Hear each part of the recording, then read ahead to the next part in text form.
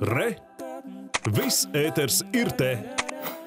Bet sākoties atkušņiem, autovadītājiem uz ielām un ceļiem jābūt sevišķi uzmanīgiem. Bedru ir arvien vairāk. Ceļu uzturētāji, pašvaldības un ceļu būvētāji atzīst trūks naudas, tāpēc ik pavasar ar bedrēm būs jāsamierinās. Bet šis gads īpaši iezīmīgs ar sliktas kvalitātes ceļiem visā valstī.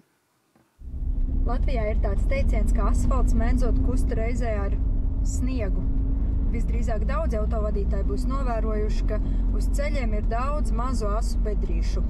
Gan pilsētā, gan ārpus apdzīvotām vietām.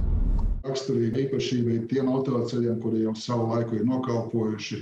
Viņu resursi jau ir izsmelts, e, viņu segums un arī konstrukcija pamati jau ir e, sakot, nokalpojuši. E, veidojās satiksmes ietekmē veidojās mazas plaistas, e, kurās teiksim, atkušņa laikā šis ūdens nokļūst. Es gribētu teikt, ka pēc šīs ziemas ceļu uzturētājiem noteikti būs ļoti, ļoti daudz darba, ko darīt. Protams, ka tā pašvaldībām ir problēma, un ja mēs rēķinām autoceļu un ielu kopgarumu, tad mums tā problēma ir divreiz lielākā kā valstī bet finansējums mums ir piecas reizes mazāks. Pamatīga viena kilometra pārbūve uz galvenās nozīmes autoceļa izmaksā aptuveni 1 miljonu eiro.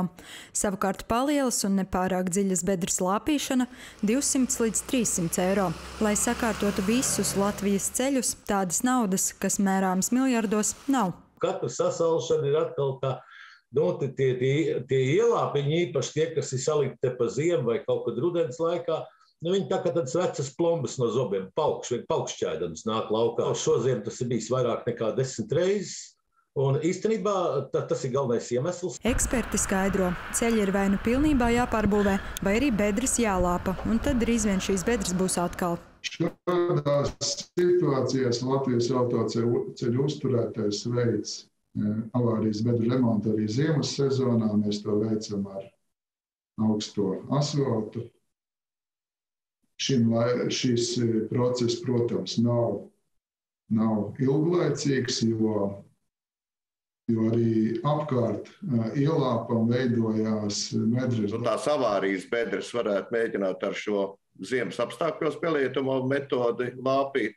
Un to varētu darīt jau kurzemē, šur tur liepājā, taču vidzemē un latgalē līdz tam vēl ir ļoti tālu izdomā, es mēģināšu iziet lētāko ceļu, tad es varēšu vairāk kilometrus noasfaltēt. Es tam pašai uzsabrukušai ceļu pamatkārtai uzliku virsū plānu mazu kārtiņu ar asfaltu. Nu, gan jau kādas 4-5 gadus nostāvēs. Nu, tā tas īstenībā arī notiek. Tas izmaksātu desmit reizes vairāk, iepratim jaunas plānas asfalta kārtas uzlikšanai.